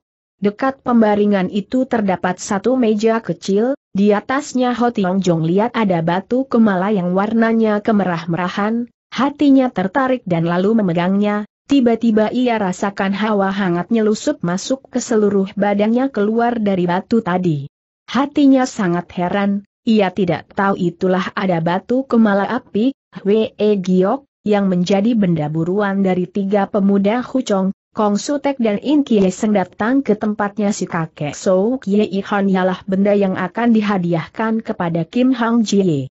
Ketarik oleh keajaibannya batu kemala api itu, tanpa merasa, ia sudah bakal main di telapakan tangannya, kemudian dimasukkan ke dalam sakunya. Kemudian ia memandang lagi patung wanita cantik tadi, ketika diteliti kiranya pada patung itu ada ukiran tulisan yang berbunyi. Chai In sudah pulang ke alam baka, tak dapat hidup kembali. Hatiku menjadi kosong oleh karenanya, dunia yang luas bagaikan menjadi sempit. Tidak ada kebahagiaan lagi dalam dunia, maka aku menyusul dia ke tempat baka catatan Cie Keng. Ho Tiong Jong berdiri bengong setelah membaca ukiran tulisan tersebut. Pikirnya, orang tua itu bernama Cie Keng yang membuat patung wanita cantik bernama Chai Inia membuat itu sebagai kenangan akan istrinya yang sangat dicintainya itu yang mendahului ia pulang ke alam baka. Kebahagiaan hidup karenanya menjadi musnah dan hidupnya Keng selanjutnya menjadi tidak ada artinya, akhirnya ia mengambil putusan untuk menyusul Seng istri ke tempat baka. Kesian. Ya Cie Lopek terdengar Ho Jong berkata sendirian, kau masih beruntung boleh dikata, karena kau sudah mengalami masa kebahagiaan hidup dan mengenangkan orang yang dicintai, tapi seperti aku aku bernasib buruk. Hanya bahaya kematian saja yang dihadapi olehku sepanjang hidupku. Terlunta-lunta hidupku, di mana dan siapa orang tuaku, aku juga tidak tahu. Setelah berkata-kata demikian tampak wajahnya muram ia sangat berduka. Dengan sangat hati-hati ia telah taruh lagi patung batu kemala tadi di tempat asalnya itulah benda miliknya si kakek, tak dapat dibawa dari situ. Kemudian setelah mereda dari dukanya, Ho Tiong Jong keluar dari goa itu setelah terlebih dahulu menutup kembali kamar batu rahasia itu sebagaimana asalnya. Ia berjalan dengan tundukan kepala. Belum lama kakinya bertindak tiba-tiba ia mendengar suara seorang wanita memanggil namanya, ia menjadi celingukan mencari dari mana datangnya suara itu. Tiong Jong kembali ia mendengar orang memanggil suaranya merdu halus, tapi seperti mengandung sedih, tidak heran kalau Ho Tiong Jong menjadi tidak sabaran. Pikirnya tentu wanita itu dalam keadaan sulit makanya suaranya ada demikian sedih. Tapi siapakah dia? Sebab yang mengetahui bahwa dirinya sudah hidup kembali hanya Sengiok Chin dan Lila Set Ie ya. Ketika untuk kesekian kalinya suara memanggil. Tadi terdengar, Ho Tiong Jong berteriak hei, kau ini siapa dan di mana adanya? Apakah kau ada Encie Ie? Oh, bukan, aku Shikim jawab suara tadi. Hatinya Ho Tiong Jong terkejut tapi dibarengi oleh rasa girang, sebab orang itu tentu tidak lain daripada Kim Hang Jie adanya. Saat itu seperti keluar dari tumpukan batu, maka cepat-cepat ia menghampiri tempat itu. Memang benar keluarnya dari sini, orang tidak tahu bahwa di sini terdapat sebuah goa karena kealingan oleh tumpukan batu yang tinggi. Betul saja tampak Nona Kim yang elok sedang berdiri mengawasi kepadanya dengan bersenyum, memperlihatkan sepasang sujennya yang memikat. Ho Tiong Jong buru-buru menghampiri dan sambil mencekal tangan si Nona yang halus ia berkata Oh, Tuhan, terima kasih terima kasih, akhirnya aku dapat menemukan kau juga di sini, adik Hang, Engko Jong hanya ini saja yang meluncur dari mulutnya si gadis yang mungil saking terharunya dapat bertemu pula dengan pemuda pujaannya itu. Adik Hang, kau. Belum usai bicaranya, telah dipotong oleh Kim Hang Jie. Engko Jong, barusan kau menyebut namanya Encie Ia, apakah sebenarnya memang kau datang ke sini hendak mencari padanya? Sinona menanya dengan sungguh, agaknya seperti yang menaruh cemburu. Ho Tiong Jong bingung, tak dapat memberi jawaban lantas. Adik Hang, nanti aku akan menceritakan duduknya.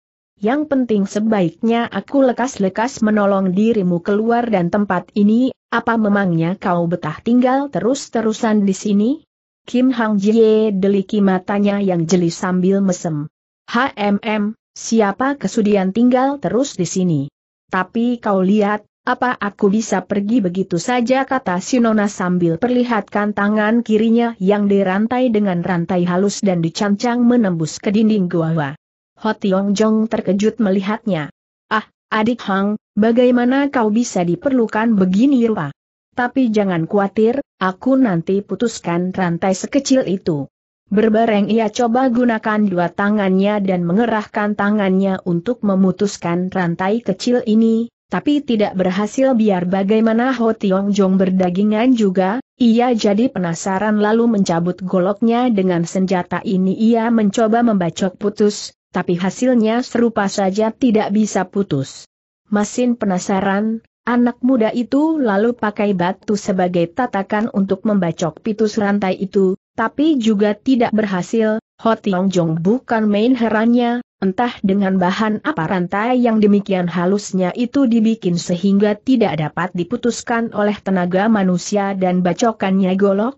Kim Hang Jie melihat Ho Tiong Jong menjadi kebingungan, lantas berkata, Engko Jong, sebaiknya kita bercakap-cakap saja, jangan menghiraukan rantai yang mengikat tanganku ini. Habis apa kau mau terus-terusan dirantai begini saja menyelak Ho Tiong Jong? Sin Ona bersenyum getir, Engko Jong, kita sudah lima tahun lamanya berpisah dan tidak bercakap-cakap selama tempo itu tentu kau ada mengalamkan banyak kejadian dalam perjalanan hidupmu, maka sukalah kau memberitahukan padaku?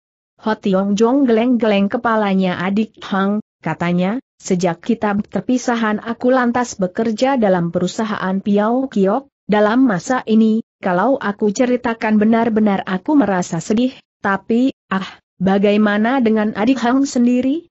Kim Hang Jie bersenyum, sepasang sujennya memain menarik hati. Engko Jong, aku ingin menanyakan kau satu perkara. Urusan apa, kau tanyalah, menyelak si pemuda. Kau keluar masuk di Sengkipo, apakah untuk pertama kalinya kau melihat aku lagi, apakah kau kenali itu gadis cilik yang menangis di pinggir sawah karena bonekanya kecemplung tanya si gadis sambil tersenyum manis. Ho Tiong Jong tertegun ia tidak pernah menyangka si Nona akan majukan pertanyaan ini, setelah saling pandang sejenak dengan penuh kenangan lama si pemuda menjawab. Adik Hang, masa aku sampai tak dapat mengenal kasih nakal. Engko Jong, kau kasih gadis nyeletuk sambil menyubit tangannya si pemuda. Aduh teriak Hotiong Jong pura-pura kesakitan sambil mengusap-usap tangan yang kena cubitan halus dari si jelita. Sakit? HMMM sekali lagi kau berani mengatakan si nakal, aku cubit lebih keras lagi dari barusan, si pengancam dengan wajah agak cemberut. Ho Tiong Jong ketawa, ia mengawasi si cantik dengan sorot mata lain daripada lima tahun berselang, di waktu Kim Hang Jie masih anak-anak umur 12 tahun. Kini pandangannya penuh dengan rasa mesra dari seorang pemuda terhadap seorang gadis pujaannya, dahulu hanya merupakan pandangan kasih sayang dari seorang kakak terhadap adiknya saja. Si gadis bukannya tidak tahu perubahan ini, maka dari cemberut tadi wajahnya sudah lantas berubah bersenyum-senyum yang bikin orang melamun. Keduanya saling pandang, keduanya saling untuk menyatakan isi hatinya. Adik Hang, Ho Tiong Jong memecahkan. Engko Jong jawab si gadis pelahan. Kembali sunyi, dan pasang mata saling pandang dengan penuh arti. Adik Hang, kata si pemuda, cubitanmu jauh bedanya dengan dahulu. Dulu bagaimana dan sekarang bagaimana? Dahulu kasar dan sakit sekarang? Halus seperti yang dielus. Kim Hang Jie tundukkan kepalanya, wajahnya kemerah-merahan. Memang ia sendiri tahu, bahwa cubitannya Engko Jong dahulu dan sekarang jauh bedanya. Dahulu sebagai anak nakal ia mencubit betul-betul, tapi sekarang setelah dewasa dan memandang Hotiong Jong sebagai pemuda pujaannya, cubitannya halus seolah-olah bergurau mengenangkan masa yang lampau. Suatu cubitan yang menimbulkan kenangan lama. Si pemuda berdiri bengong dengan penuh lamunannya. Lama mereka terbenam dalam masing-masing lamunannya. Ho Tiong Jong baru sadar ketika Hang Jie perlihatkan sujengnya yang memain dan matanya mengerling kepadanya. Engko Jong kau masih belum meneruskan ceritamu mengenai aku si gadis berkata pelahan. Adik Hang, jawab si pemuda ketika pertama kali kau disengkipo, aku merasa berat untuk menegur kau karena aku merasa bahwa diriku seorang lantang-lantung yang tidak berguna, mana adik Hang mau mengenalinya lagi? Engko Jong nyeletuk si gadis. Ho Tiong Jong tersenyum getir, adik Hang memang aku keliru, sebab ternyata kau ada seorang nona yang berhati mulia, kau sudah menolong membuka totokan pada jalan darahku dan memberikan sebuah kikir untuk aku mengikir putus rantai, yang membelenggu diriku, oh, sungguh mulia hatimu semoga Tuhan memberkahimu selamanya. Engko Jong, jangan berkata begitu. Maka, adik Hang, kata pula Ho Tiong Jong, ketika aku mendengar kau dalam bahaya, dengan melupakan diri sendiri yang berkepandaian rendah, sudah lantas datang ke sini dengan penuh pengharapan dapat menolong dirimu. Oh kau baik sekali Engko Jong, tapi kenapa mula-mula kau menyebut Encile? Adik Hang, kau jangan salah mengerti. Aku sebenarnya dianggap sudah mati oleh semua orang di Sengkipo, kecuali adik Giok dan Encile yang mengetahui bahwa aku sebelumnya belum mati, maka selainnya mereka berdua, tentu siapa lagi yang mengenali padaku? Oh, begitu? Maaf untuk pertanyaanku yang tidak beralasan, Engko Jong. Keduanya bersenyum mesra. Kim Hang Jie yang sangat kegirangan. Pikirnya, pemuda pujaannya ini benar-benar datang ke sini dengan menerjang bahaya adalah untuk menolong dirinya, bukan untuk menolong orang lain, dasar hatinya saja yang penuh cemburu, membuat barusan berulang kali ia kepingin diterangkan kenapa si pemuda menyebut Tencile bukannya adik Hang, Kini ia sudah dapat penjelasan. Cintanya terhadap pemuda pujaannya itu sudah semakin tebal saja. Tapi adik Hang, bagaimana sekarang baiknya tiba-tiba Ho Tiong Jong berkata. Urusan apa tanya si Nona kaget. Dirimu, bagaimana dapat lolos dari rantai yang ulet itu siapa sebenarnya yang telah merantai kau, adik Hang? Kim Hang Jie menghela napas, sudah tentu bukan lain dari tua bangka itu yang merantaiku. Tua bangka yang mana? Julukannya si kakek aneh dan namanya Xiao Kiehon, suhengnya Kong Yat Sin si dewa obat, dia sangat hebat ilmu kepandaiannya, ayahku dengan kawan-kawannya tak sanggup menghadapinya. Kini umurnya sudah hampir satu abad, tapi masih kuat dan sehat badannya, ia sangat kejam, siapa yang melanggar daerahnya akan mendapat hukuman daripadanya. Begitulah, aku yang lancang melanggar daerahnya telah mendapat ini perlakuan. Si Nona yang unjukkan tangannya yang dirantai. Adik Hang, di mana adanya dia? Aku ingin menemuinya untuk minta maaf supaya kau dapat dimerdekakan dan kembali dapat berkumpul dengan ayahmu. Kim Hang Jie terharu mendengar kata-katanya Ho Tiong Jong. Engko Jong, dia ada di. Oh oh oh oh. Nona Kim belum lampias bicaranya, tiba-tiba berhenti karena mendengar suara orang berdehem dan ia kenali itulah ada suaranya kakek aneh yang tenaga dalamnya sangat hebat. Tunggu, aku lihat siapa di luar, kata Hang Tiong Jong, sambil bertindak keluar goa. Sampai di luar ia celingukan mencari orang yang berdehem tadi. Tiba-tiba dari balik batu besar tampak muncul seorang tindakannya gesit dan semangatnya bagus, Ho Tiong Jung yang melihatnya lantas sudah dapat menebak siapa yang tua itu maka ia lantas menjura memberi hormat katanya. Ciam Poe, bolehkah Bo Poe menumpang tanya apakah Bo Poe berhadapan dengan Ciam Poe Sau Kiehan? Orang tua itu tidak menyahut, hanya anggukan kepalanya. Bagus, kata pula Ho Tiong Jong, tempat di sini ada begitu luas, sukar kalau Bo Ampue sengaja mencari pada Ciampue. Kebetulan Bo Ampue ketemu Ciampue di sini. Siapa kau tanya orang tua itu kasar? Kan mencari lohu untuk apa? Dan kau masuk golongan mana? Maafkan Bo Ampue berlaku berani, Bum Pue mencari Ciam Pue maksudnya hendak minta pertolongan supaya Nona Kim Hang Jie yang dirantai oleh Ciam Pue dapat diberi kebebasan, karena dia dengan Bo Am Pue ada hubungan dekat. HMM. Bebaskan dia? Kau harus tahu, Lohu di sini sudah 10 tahun lebih telah mengadakan peraturan, barang siapa yang berani menginjak daerah Lohu, bisa masuk tidak bisa keluar lagi, siapakah kau? Bo Ampue bernama Ho Tiong Jong, tidak punya suhu. Mohon belas kasihan Ciam Pue supaya Nona Kim dibebaskan orang tua itu ketawa aneh. Lohu sudah tidak lantas ambil tindakan untuk kelancanganmu datang kemari sudah kelewat bagus, sekarang kau minta kebebasan tawanan Lohu, betul-betul lucu. Orang tua itu berkata dengan sifat mengejek memandang rendah kepada pemuda di hadapannya, sehingga Ho Tiong Jung yang melihatnya menjadi hilang sabar. Ciam Poe, andai kata gunung ini sudah menjadi Ciam Poe, seharusnya di suatu tempat yang tertentu diberi pengumuman tidak boleh melanggar wilayah Ciam Poe, baru orang mengerti. Meskipun begitu kalau sekiranya ada orang yang kesasar masuk rasanya masih dapat pembebasan dan tidak mendapat hukuman mati, bukan?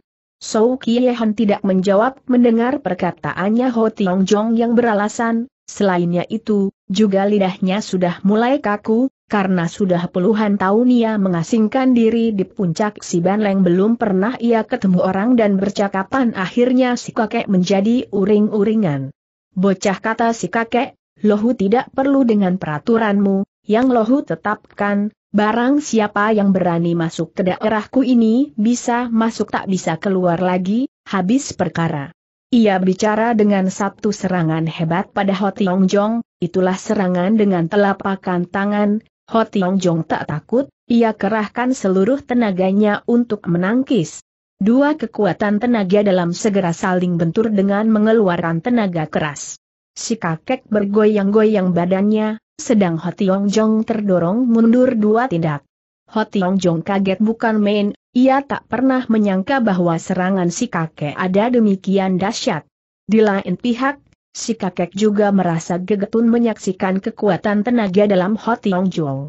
Meskipun masih demikian muda, tapi sudah termasuk golongan kelas satu tenaga dalamnya. Si kakek lantas menyerang lagi, tapi Ho Tiong Jong kali ini tidak mau menyambuti keras lawan keras, karena barusan sudah tahu sampai di mana kekuatannya si kakek ia menggunakan tenaga lunak untuk melayaninya dan menyimpan tenaga pada siku lengannya menanti kesempatan baik lantas dapat digunakan. Si kakek tahu maksudnya Ho Tiong Jong maka ia lantas tarik pulang serangan telapakan tangannya dan diganti dengan serangan lengan baju, ia mengebutkan lengan bajunya yang gerombongan pergi datang, tapi Ho Tiong Jong masih dapat mengelakkan dirinya dari bahaya. Tiba-tiba dari kebutan lengan baju itu, Ho Tiong Jong dapat mengendus bau amis. Hatinya bercekat, maka ia lantas menghunus goloknya untuk melayani. Si kakek tawa gelak-gelak melihat Ho Tiong Jong menghunus goloknya. Hai bocah bentaknya kau mengeluarkan golok lem Tian Tu dari keluarga Seng bisa berbuat apa terhadap lohu. Hahaha terus ia melancarkan serangan dengan lengan bajunya yang ampuh. Dua lengan baju berseleweran, kelihatannya bagus sekali seperti juga si kakek sedang menari-nari tapi sebenarnya ia sedang mencecar Ho Tiong Jong dengan serangan-serangan yang mengarah jalan darah yang berbahaya sekali. Satu kali Tiong Jong hampir kena disapu mukanya oleh lengan bajunya So Kie Hon, tapi ia sudah dapat menyingkirkan diri dengan melompat mundur. Kemudian dengar tertawa dingin ia berkata, Hei, kakek, ada apa itu di dalam lengan bajumu? Kau dengan menyembunyikan senjata gelap dalam lengan baju untuk mencelakai musuh, apakah itu terhitung seorang gagah dalam kalangan Kang Ou? So Kie Han terkejut mendengar tegurannya Ho Tiong. Diam-diam dalam hatinya berpikir, kenapa penuda ini mendapat tahu bahwa dalam lengan bajunya ada tersembunyi senjata rahasia? Pertandingan dihentikan sebentar. Bocah, kata si kakek, Sedari dahulu lohu bertempur menggunakan telapakan tangan dan sepasang lengan bajuku yang dinamai lengan baju besi dengan dua senjata lohu sudah malang melintang di kalangan Kang Ou. Belakangan lohu dapat melatih ular kecil yang cerdik sebagai senjata rahasia yang disembunyikan di dalam lengan baju. Ular ini dapat ditenangkan dan menggigit musuh. Banyak pendekar rulung yang telah mati di bawah senjata rahasia lohu ini tiap-tiap orang yang sudah mengetahui senjata lohu, harus menemukan kematiannya. Nah, sekarang lohu mau tanya, dari sebab apa kan bisa mengetahui bahwa di dalam lengan baju lohu ada menyimpan senjata rahasia? Ho Tiong Jong mengetahui rahasia itu, karena dahulu ia ketika diserang oleh Tok Kei, si pengemis beracun, ada mengendus bau amis semacam itu. Pikirnya, kalau ia berterus terang kepada si kakek, nanti si kakek akan mencari segala daya akan menyingkirkan jiwanya, maka ia sudah menjawab dengan singkat saja.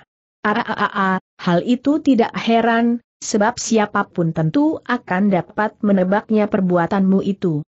Soal Kiehon marah tidak mendapat jawaban yang semestinya, maka ia mulai segera menyerang lagi dengan lengan bajunya yang mempunyai banyak perubahan serangan, Ho Tiong Jong setelah membentak lalu memainkan goloknya untuk melayaninya.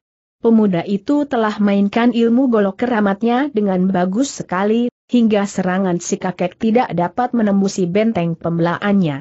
Diam-diam si kakek merasa amat heran bertanding dengan Ho Tiong Jong tak dapat menjatuhkannya. So Kie Hon lantas merubah serangannya, ia mendesak lebih rapih dan gencar, sementara itu juga telah memainkan ilmu goloknya sampai 12 jurus, ia tidak bisa meneruskan jurus ke-13 dan selanjutnya. Melihat ilmu goloknya si pemuda hanya sampai 12 jurus saja, maka Sou Kiehan sudah menggunakan kesempatan si pemuda sedang kebingungan. Ia menyerang dengan baju besinya dan sebentar lagi sudah dapat mengulung goloknya Ho Tiong Jung yang terus dilontarkannya ke tengah udara. Berbareng saat itu ular kecil yang tersimpan dalam lengan bajunya ditenangkan Ho Tiong Jong takut dengan ular kecil itu, maka ia sudah menjaga-jaga jangan sampai kena gigit, justru karena itu ia jadi lengah, tiba-tiba dirasakan tubuhnya lemas karena jalan darahnya yang penting sudah kena dibacok oleh si kakek tua aneh. So Kiehan tertawa terkekeh-kekeh setelah membuat Ho Tiong Jong tidak berdaya, Hei bocah, kau sekarang baru merasakan lihainya lohu. Bagaimana, apa masih mau melawan lagi? Ho Tiong Jong tertawa dingin. Hahaha ada lihainya apa sih? Kau menggigit aku, kalau aku mengerutkan alis sedikit saja karena takut, kau jangan panggil aku Ho Jong sebagai satu laki-laki sejati. So Kiehon mengangkat ular kecilnya ditodongkan ke mukanya Ho Jong sambil berkata, HMM kau dengan berkata begitu tentu tidak takut mati, bukan? Selama hidupku, belum pernah mengingkari hukum Tuhan, kenapa aku harus takut mati? Kau boleh suruh ularmu yang beracun itu untuk menggigit aku. Si kakek sebenarnya menghendaki Ho Tiong Jong, dengan mudah saja ia melontarkan ularnya ke muka si pemuda dan pasti mukanya Ho Tiong Jong akan digigitnya. Racunnya akan masuk mengikuti peredaran darah dalam tubuh Ho Tiong Jong dan tidak lama kemudian ia bisa mati konyol. Tapi si kakek rupanya tidak mengingini jiwanya itu. Ia seperti merasa sayang atas ketabahan hatinya menghadapi kematian, ia telah menarik pulang ular kecilnya dan dimasukkan pula ke dalam lengan bajunya kemudian berkata, kau karena itu nona kecil, makanya kau menjadi nekat begini sekarang begini saja lohu tidak mau melepaskan nona itu, tapi kau lohu beri ampun. Nah lekas kau pergi dari sini. Lekas, jangan sampai Lohu berubah pikiran lagi tapi mana Ho Tiong Jong mau mengerti ia pergi dari situ tanpa Kim Hang Jie. Maksud kedatangannya justru hendak menolongi Kim Hang Jie, maka ia lantas berkata pada si kakek. Ciam Poe, aku tidak bisa berlalu dari sini tanpa ikut sertanya Nona Kim aku berjanji setelah aku dengan Nona Kim lepas dari sini, akan bersumpah tidak berani menginjak pula daerah ini, Ciampu bisa meliwatkan hidupmu dengan tenang dan tentram. Kau tidak dengar Lohu barusan bilang? Kau boleh berlalu dari sini, tapi si Nona Lohu tahan kata si kakek dengan muka kurang senang. Ho Tiong Jong terus membandel ia mengijeng macam anak kecil, minta supaya Kim Hang Jie dibebaskan. Hal mana membuat Sou Kie Han pusing dan menjadi marah. Bocah katanya, kalau kau terus-terusan mengganggu Lohu, jangan menyesal kalau Lohu tidak akan izinkan pula kau pergi dari sini. Ho Tiong Jong ketawa getir pikirnya, jiwanya hanya hidup tinggal semalaman lagi, apanya yang ditakuti, maka ia lantas berkata dengan suara mantap Ciam Poe, kau boleh tak usah melepaskan aku, asal Nona Kim kau merdekakan. Betul? Ya. Kau tidak menyesal. Aku Ho Tiong Jong sebagai satu laki-laki sejati, sekali mengucapkan perkataan tidak akan menjadi menyesal. Baik, kau keluarkan tanganmu. Ho Tiong Jong tidak sampai diminta dua kali, sudah lantas menyodorkan sepasang tangannya, tampak si kakek telah mengeluarkan jarum perak yang ujungnya sangat tajam dan berwarna hitam, kemudian pegang tangan kirinya si pemuda dan menusukkan jarum peraknya pada bagian jalan darah yang penting. Setelah melakukan itu lalu berkata, ya, sekarang kau boleh pergi. Kau sudah kena bisa dari jarum pencabut roh jiwamu hanya tahan 12 jam saja, sekarang lohu dapat melepaskan nona itu. Tapi kau harus berjanji, kau tidak boleh membocorkan rahasia lohu ini pada siapa juga, kau paham? Ho Tiong Jong dengan tabah anggukan kepalanya. Ia terus mengikuti Sou Kiehon ke tempatnya Hang Jie. Sinona ketika melihat pemuda pujaannya berhasil mengundang Sou Kie Hondam diam dalam hatinya memuji kepandaiannya Ho Tiong. Bukan main girangnya, tampak ia bersenyum-senyum hingga sujonnya memain memikat hati. Engko Jong, kau hanya ini yang luncur dari mulutnya yang mungil, matanya mengerling menusuk hati Ho Tiong. Hatinya pemuda itu berdebaran ia mengerti si Nona, kegirangan dan ia tahu si gadis mencintai dirinya sangat besar, tapi entah kapan ia memikirkan nasib hidupnya hanya tinggal semalaman lagi, tiba-tiba rasa cemas dan sedih mengaduk dalam hatinya dan ia sudah kepingin menangis seketika itu juga. Ketika si pemuda datang dekat, tangannya si Nona yang halus memegang tangannya dengan mesra, buat sekian kalinya ia mendengar si gadis berkata, Engko Jong, kau, Adik Hang, aku beruntung dapat mengundang So Chiam Poe untuk membebaskan kau dari rantai dan kau selanjutnya akan bebas kata Ho Tiong Jong dengan paksakan wajahnya ketawa gembira. Engko Jong, kau baik sekali jawab si gadis kegirangan sementara itu So Kie Hao sudah mendekatinya rantai halus yang tidak mempan senjata golok oleh si kakek hanya dijepit dengan dua jarinya saja sudah putus, seperti juga yang kena digunting. Hebat ilmu kepandaiannya si kakek keduanya yang menyaksikan itu menjadi saling pandang dan diam-diam dalam hati masing-masing pada memuji si kakek. Tanpa berkata apa-apa si kakek telah berdiri tidak jauh dari mereka berdua. Kim Hang Jie kini sudah bebas, ia tidak pedulikan si kakek, hanya ia lantas menyekal tangannya Ho Tiong Jong, sambil menatap wajahnya si pemuda yang tampan, Kim Hang Jie telah menanya. Engko Jong, Care bagaimana sampai dia mau melepaskan aku. Ho Tiong Jong paksa bersenyum, adik Hang, hal ini baik belakangan saja aku ceritakan padamu, sekarang yang paling perlu, lekas-lekas kau menyingkir dari sini. Mari kita sama-sama pergi, mengajak si gadis. Kau pergi lebih dahulu, aku masih ada urusan sedikit dengan soal Lo Chiampoe. Kim Hang Jie heran, ia menatap wajahnya si pemuda yang sedang tersenyum kepadanya tapi bagaimana juga senyumannya itu seperti tak sewajarnya, maka Kim Hang Jie lalu menanya. Engko Jong, kalau kau tidak mau pergi aku juga tidak akan meninggalkan tempat ini, dari sebab apa, maka kau tidak mau pergi bersama-sama. Hei, bocah menyelak Sou Kie Hang dengan keras, lekas kau pergi dari sini, Aku sudah bagi kau kebebasan apa kau tidak puas? Nona Kim ada satu gadis yang cerdik, setelah dia menatap wajahnya si kakek dan Ho Tiong Jong bergantian lantas ia dapat menebak bahwa keadaan tidak sewajarnya maka dengan gemas ia berkata pada Sou Kie Hon, kakek jahat, sekali nonamu bilang tidak mau pergi tetap tidak akan pergi, aku mau lihat kau bisa berbuat apa. Sou Kie Hon perdengarkan ketawanya yang aneh, ia tidak meladeni Kim Hang Jie yang nyerocos bicara, ia ngeloyor dan sebentar saja sudah tidak kelihatan mata hidungnya. Kim Hang Jie hatinya sangat tidak enak, dengan air mata mengembeng, ia berkata pada pemuda pujaan hatinya Engko Jong, kau jangan sanggupi permintaannya, ayo, mari kita lekas meninggalkan tempat ini. Tidak menunggu Nona Kim meneruskan perkataannya, Ho Tiong Jong telah menyelak, katanya, Adik Hang, memang aku tidak omong sejujurnya padamu, tapi ah, untuk apa kau mengambil sikap demikian terhadap si kakek jiwaku tidak berharga? Kim Hang Jie kaget, haa kau tentu telah mengikat janji dengan kakek jahat itu.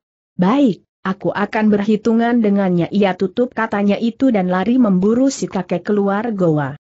Tapi Ho Tiong Jong dengan cepat mencegah adik Hang, kau jangan begini kasar katanya, Sambil menyekal lengannya si Nona, si Nona menangis dihalangi maksudnya. Adik Hang, kau harus berpikir dengan tenang kau ada seorang cerdik, mudah sekali kau dapat menarik kesimpulan bahwa kekuatan sendiri bukan tandingannya si kakek. Jangan lagi kau hanya seorang diri meskipun dikerubuti bersama aku pun, masih bukan lawannya pula. Tidak apa, biarlah aku yang menanggungnya, Asal kau dapat pulang kemerdekaanmu dan kembali ke rumah dengan selamat aku sudah merasa puas. Si Nona menangis sesenggukan. Engko Jonggunaku kau sudah berkorban ini betul-betul hatiku tidak mengasih. Kau tidak ada, apa artinya hidupku oh Engko Jong, kau? Nona Kim menangis makin sedih, hingga Ho Tiong Jong yang melihatnya menjadi teturutan mengucurkan air mata. Ia tidak pernah mengimpi, bahwa Sin Ona begitu tebal cintanya terhadap dirinya. Tapi, ya, apa hendak dikata, hidupnya hanya sampai besok malam saja dan sekarang ia sudah dapat menolong jiwanya orang yang pernah melepas budi padanya, hatinya sudah bukan main senangnya, sebelumnya ia menemukan ajalnya dapat menolong Nona Kim, kematiannya nanti tidak membuat ia penasaran dan rela menyambut malaikat maut. Sudahlah adik Hang, kau jangan nangis terus-terusan nanti masuk angin menghibur si pemuda dengan suara parau karena sangat sedih. Dengan air mata berlinang-linang Kim Hang Jie mengatakan isi hatinya. Engko Jong, sejak kau meninggalkan rumahku pada lima tahun berselang, tidak barang sesaat aku melupakan dirimu. Aku senantiasa menantikan kedatanganmu kembali supaya kau dapat merampungkan ilmu golok keramat yang sama sekali ada 18 jurus. Kan hanya 12 jurus saja, masih belum cukup untuk kau pakai malang melintang di dunia Kang Owi yang penuh dengan bahaya. Tapi setelah dinantikan setahun dua tahun, tiga dan sampai lima tahun tidak juga kelihatan muncul. Kau bayangkan sendiri, bagaimana cemas dan risaunya hatiku memikirkan dirimu, aku sangat mengkhawatirkan keselamatanmu. Sampai di sini, Kim Hang Jie tidak tahan dengan rasa sedihnya dan menangis semakin keras, hingga Ho Tiong Jong tanpa disadari telah memeluk si Nona dan mengusap-usap dahinya serta membetulkan rambutnya yang riap-riapan dengan penuh kasih sayang. Adik Hang, aku berdosa terhadapmu, Kau oh kalau aku tahu kan ada demikian, betapa merindukan diriku, sudah tentu aku tidak akan membawa adat sendiri yang angin-anginan. Nah sekarang kau berhenti menangis. Lima tahun berselang, kata pula si gadis, aku dapat membuktikan pribadimu yang luhur ketika kau tolong mengembalikan bonekaku yang kecemplung itu. Waktu itu kau tidak menghiraukan hawa dingin, kau telah menolongku. Kini, Kini aku mendapat bukti lebih nyata lagi tentang kemuliaan hatimu terhadapku. Adik Hang, menyelak Ho Tiong Jong. Betul-betul aku merasa bangga mendapat pujianmu dan perhatianmu yang demikian besar, aku dapat mengerti akan isi hatimu terhadapku. Aku juga merasa, hatiku ada begitu dekat dengan kau, hanya-hanya sayang ada itu perbedaan titik. Ho Tiong Jong tak dapat meneruskan kata-katanya, ia berkata sampai di situ juga sudah merasa keterlepasan. Kim Hang Jie hentikan sesenggukannya dan menatap wajahnya si anak muda. Engko, Long, kau kata tadi perbedaan-perbedaan apa itu tanyanya. Perbedaan tingkatan kita, kau dari tingkatan atas dan aku dari tingkatan yang paling rendah, seorang gelandangan seperti aku, mana orang tuamu memandang matu dan mengizinkan kau bergaul dengan aku? Adik Hang, sebaiknya kita akhiri sampai di sini saja perkenalan kita, karena makin rapat kita bergaul makin membuat hatiku jadi lebih sengsara saja. Ah, Engko Jong.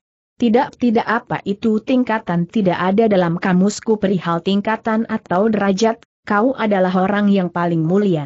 Adik Hang, sudahlah, ucapanmu ini aku khawatir akan membuat kau menyesal di belakang harinya.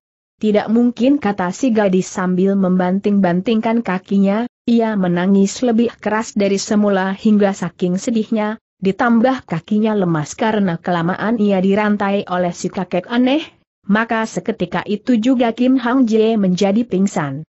Ho Tiong Jong yang menyaksikan si Nona pingsan dalam pelukannya menjadi sangat gelisah, sebelumnya ia bertindak apa-apa mendadak muncul So Kie Hon, tanpa kata apa-apa lagi si kakek telah menotok urat tidurnya si Nona, sehingga Kim Hang Jie jatuh pulas dengan nyenyaknya. Bocah kata si kakek.